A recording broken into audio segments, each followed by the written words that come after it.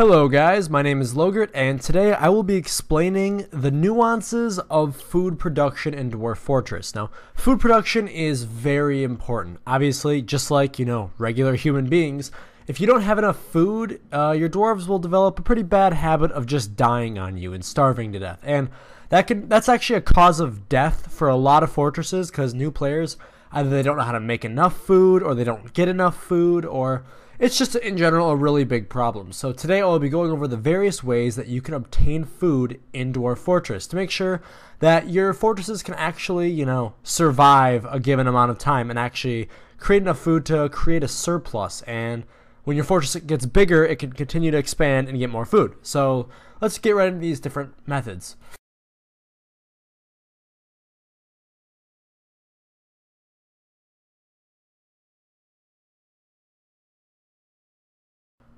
First, let's talk about farming. Now, farming is the most complex way to get food, but it's also the most effective. And when you have a large fortress, it's the best method to use because you'll actually produce enough food to, you know, keep up with the amount of dwarves that you have. However, to start farming, you're going to need a couple of things. You're going to need seeds. Um, the seeds that I would recommend is plump helmet spawn. And how to get plump helmet spawn? Uh, when you embark with the preparations, uh, make sure you get lots of them. You want lots and lots of plump helmet spawns. That's found under the items tab while you're preparing for your journey. So make sure to bring lots of plump helmet spawn. And when I when I mean a lot of plump helmet spawn, I mean I would bring like a hundred plump helmet spawn, and that will allow you to. It's basically yeah, bringing seeds for you to plant later in your fortress. So that's really all you need when you embark. All you need is an area with dirt and some plump helmet spawns. Okay, so here we are in game, and this is just kind of a sample fortress that I made.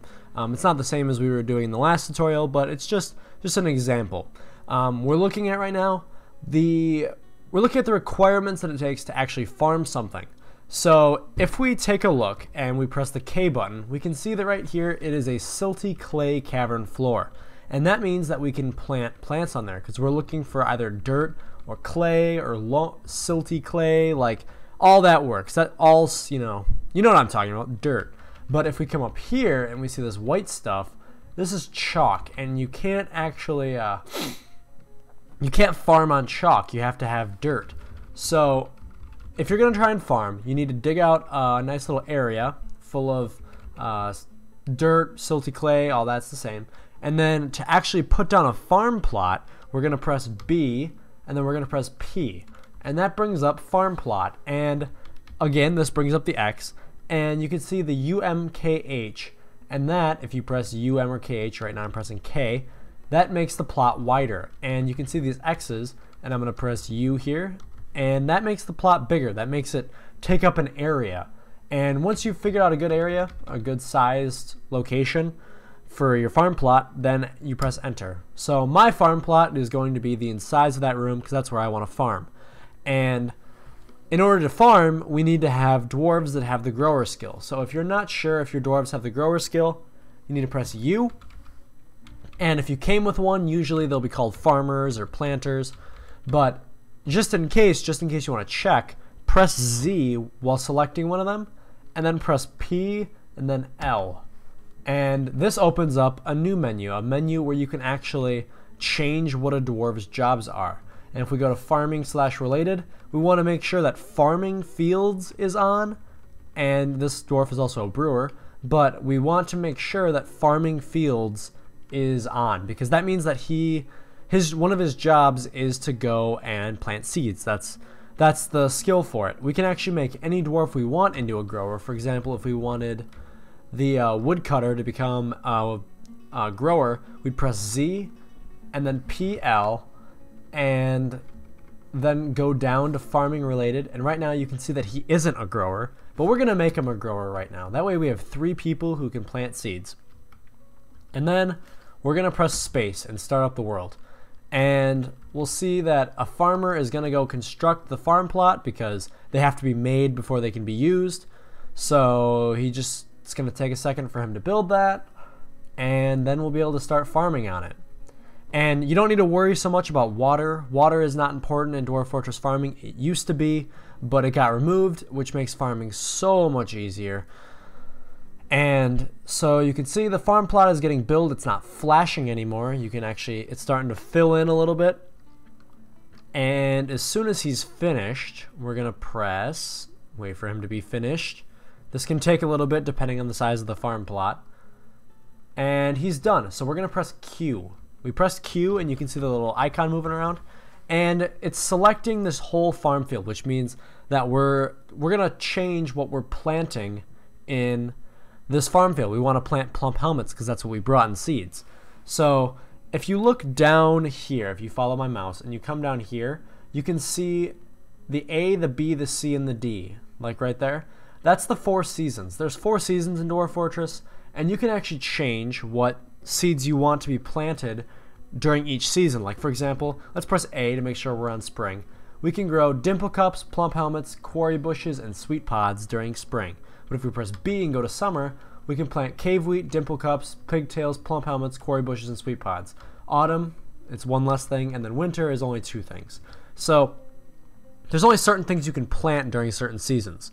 But we're going to plant plump helmets by, we're to select plump helmets when we press A, and press enter on the plump helmets, which makes them light up. We're going to press B, and then we're going to select plump helmets. We're going to press C, then we're going to select plump helmets. Then we're going to press D and pre select plump helmets. This is really important because if you don't do this step and you only do it for spring, your dwarves will stop planting after spring. They'll assume that you don't want these fields being used during the other seasons, which obviously you do. You want food to be planted all year round. So now we've given the dwarves the command to uh, plant plump helmets all year round, just constantly plant them here. So let's press escape and press U and we'll see that these three dwarves, including the woodcutter that we just changed his job, are going to go start planting seeds. And what's up? What's over here? Bunch of giant sparrows, whatever. You can see they're coming in here, and they're going to plant the seeds. And the dwarves will keep on doing that. I think plump helmets take about five minutes to grow. So we will not actually see the fruits of their labor, but for now, if someone's just a grower, as long as you have seeds, he'll just keep running out to the wagon, grabbing more seeds, coming back in, planting more. And that's growing food. You can, as long as you set plump helmets all year round, you can grow them all year round. That way, you constantly have a food supply coming in. So we can look at Z. We only have 20 meat, 20 fish, 20 plant. But as more plump helmets come in, and we have a lot of seeds, but as more plump helmets come in, our plant totals will go through the roof. Like we'll get a ton of uh, plump helmet food. So that's how that's the basics of farming. That's farming for sustenance. Make sure just to kind of recap the steps, make sure that you have a silty clay cavern floor. Um, it needs to be indoors. You can't plant, for example, let's um, you can put a farm plot outside. However, plump helmets need to grow inside. There are plants that you can grow outside but plump helmets aren't one of them, and I would definitely recommend if you're a new player to grow plump helmets because they are a very consistent, very stable food source. So you need dirt, you need it inside, and you need planter dwarves. Um, the growers, any dwarf can harvest plants, but only growers can plant them. So make sure you have enough of them. Uh, you always want to have, I would recommend two, but as your fortress grows, make more of your uh, more of your dwarves uh, growers. That way, your farms are more efficiently taken care of and managed because you don't want your plump helmets to be just sitting on the ground and possibly decay or go away because then you lose everything. So, that's the very basics of farming right there.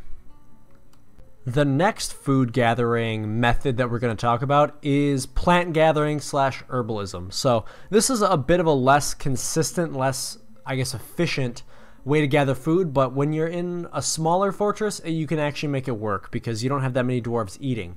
So the first thing we're going to need to do is go to one of our dwarves and we're going to press that ZCPL as we did before. But this time we're going to go to, I believe it's still farming fishing related, and we're going to go down to plant gathering.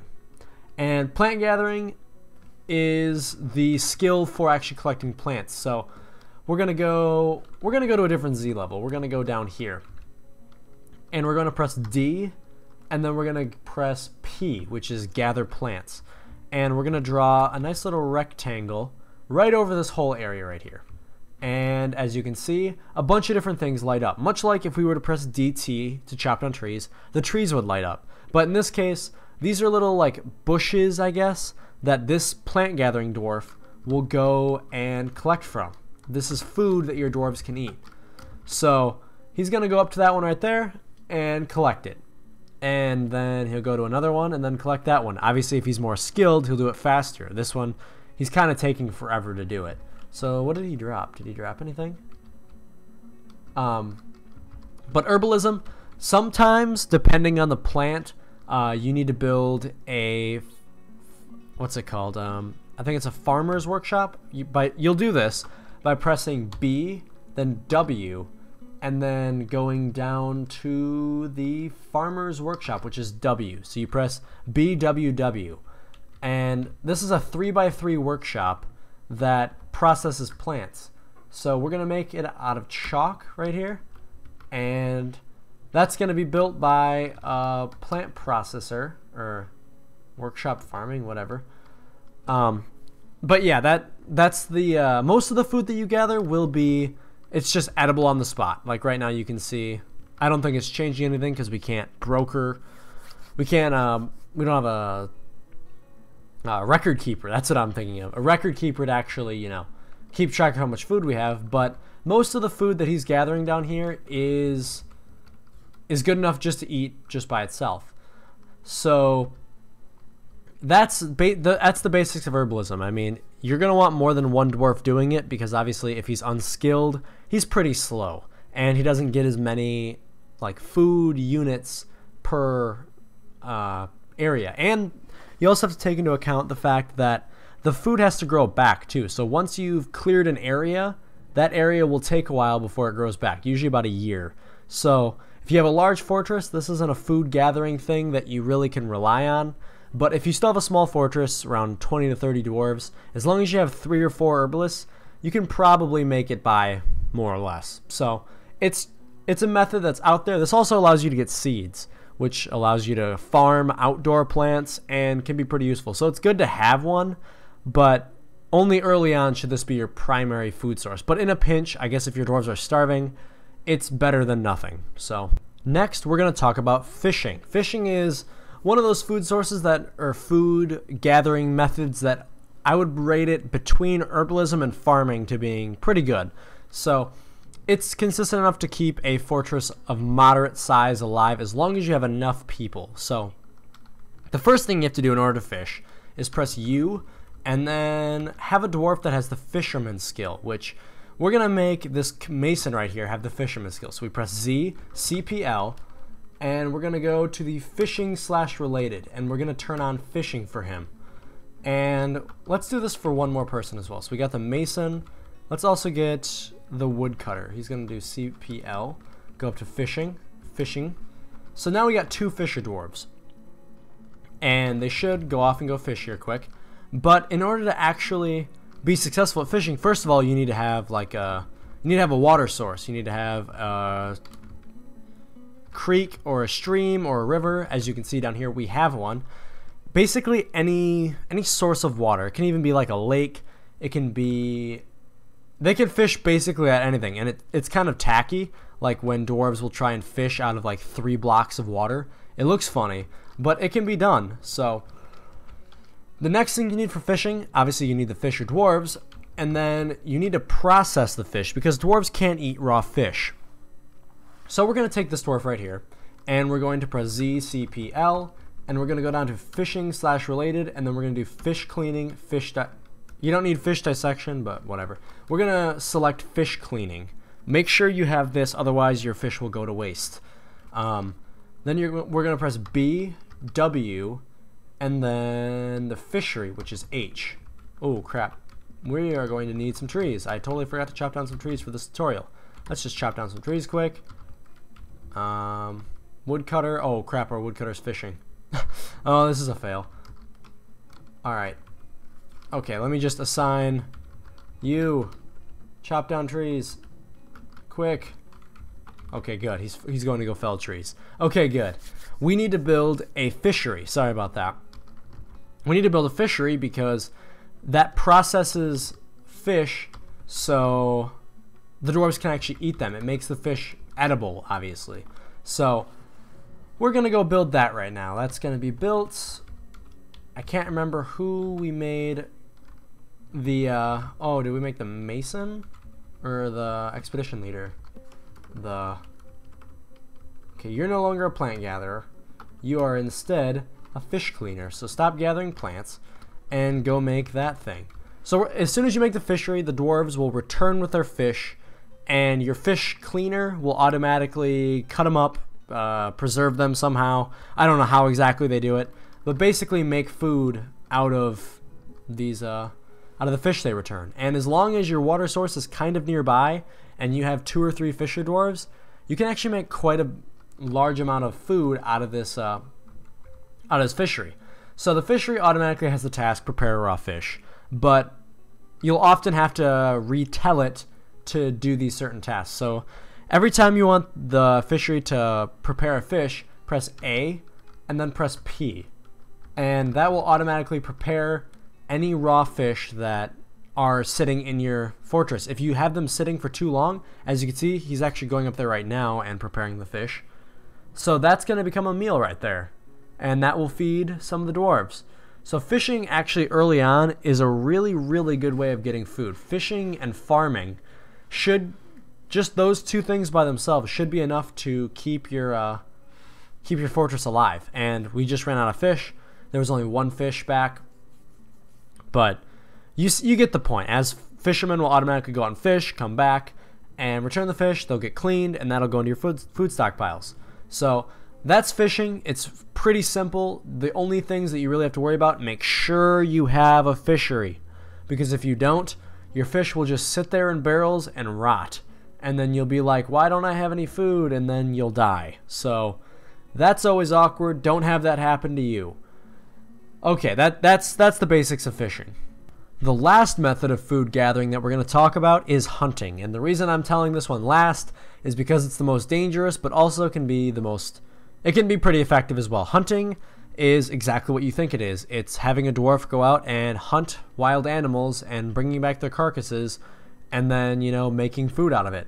So this one also has a bit to it. So first of all, if you're going to try and do hunting, it's best that you plan ahead while you're embarking and bring a crossbow and a lot of bolts for your, one of your whatever hunting dwarves. And it's also advisable that you increase the crossbow skill and all the hunting skills beforehand. Because if you don't do that, then hunting probably won't turn out very well for you.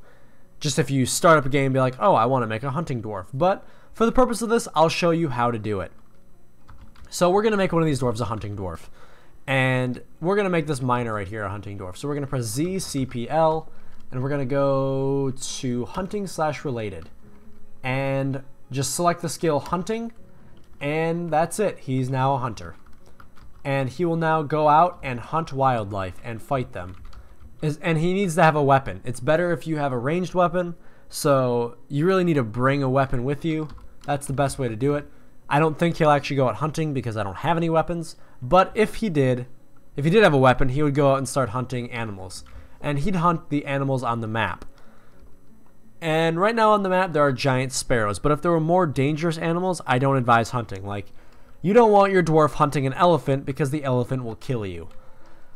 As soon as you do start hunting, it's a you need to build by pressing B, W, and then there's a butcher Butcher shop. It's a U. BWU. And build a butcher shop.